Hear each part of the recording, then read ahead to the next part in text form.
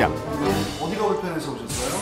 계단을 오르내릴 때 이 골반 쪽에서 시큰 경사진곳을 오를 때 동반되는 골반 통증.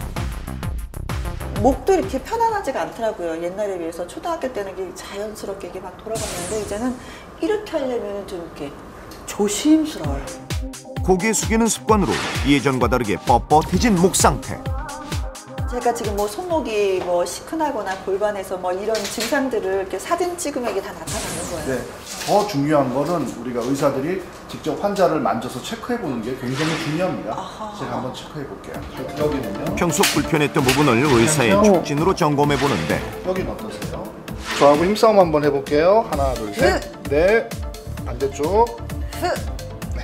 우리 척추는 목은 어떻고 허리는 어떻고 따로따로 노는 게 아니고 일자로 연결이 돼 있다 보니까 목 밸런스가 안 좋으신 분이 허리나 골반 밸런스가 좋 가능성은 좋을 리가 없어요. 별로 없어요. 그래서 같이 망가지는 경우가 많고 그래서 아마 김혜영 님도 허리 쪽에 약간 문제가 있을 가능성이 있으니까 제가 한번 체크를 해보겠습니다. 부드럽게 불러주세요. 김혜영 양. 알겠습니다. 김혜영 양.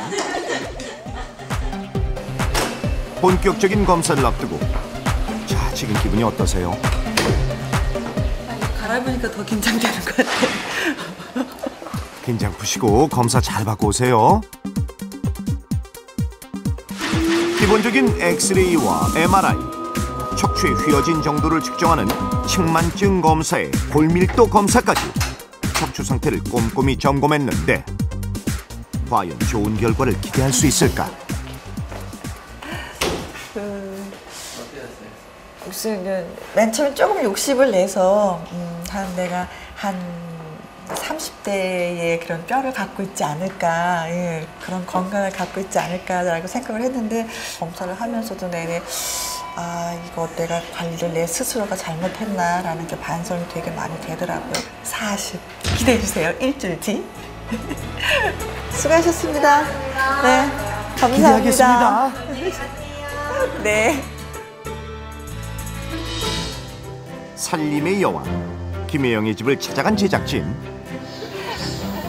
아니 잘 먹고 잘 사는 법은 저하고 무슨 이렇게 인연으로 이제는 집까지 맨 시골만 데리고 다니던 이제 집까지 오시고 아이고 참 영광입니다. 저희도 영광입니다. 네 어서 오시어요. 네. 아무도 없어요 우리 집에 지금. 들어오세요. 햇살이 환하게 비추는 깔끔한 거실 푸르른 자연이 한눈에 들어오는 커다란 창까지 이야 멋지네요 정말 1년 사계절을 다 느낄 수가 있어요. 봄 되면 이게 벚나무여서 꽃이 피고 여름엔 이렇게 푸르르고 가을엔 또 이렇게 하고 겨울엔 눈이 내리는 걸 다 볼 수 있어서 그것도 좋고 급한 일 있을 때 왜뭐 하나 깜빡 놓고 나면 또 엘리베이터 타고 올라가야 되잖아요. 그게 아니라 후다닥 뛰어올 수 있으니까 2층이라서 또 그건 많이 편안하더라고요. 이 앞은 딱 들어오는 그 순간 저는 이렇게 꼼꼼한 뭔가가 참 너무 좋았거든요. 김혜영의 애정이 담긴 작품이라는데 이 작품 이름이 혹시 뭐예요? 못들의 소용돌이. 아, 못 몰라 지금 제가 만든 거. 소문난 살림꾼답게 아기자기한 소품 하나하나 직접 골라 배치했다는 김혜영. 자, 이번엔 주부 김혜영의 진 면모를 엿볼 수 있는 곳 주방을 만나보자. 매일 요리를 하는 곳이지만 와, 물기 하나 없이 깔끔한 모습인데 그중 김혜영이 특별히 애정을 쏟는 부분은 따로 있다. 바로 주방 도구가 담긴 서랍장. 정말 정리가 잘 돼 있네요.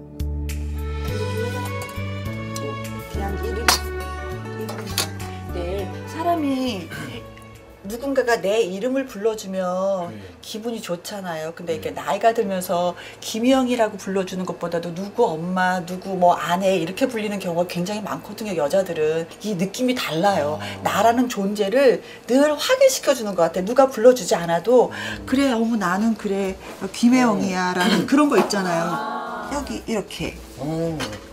내 행주마다 이렇게 다 이름을 음.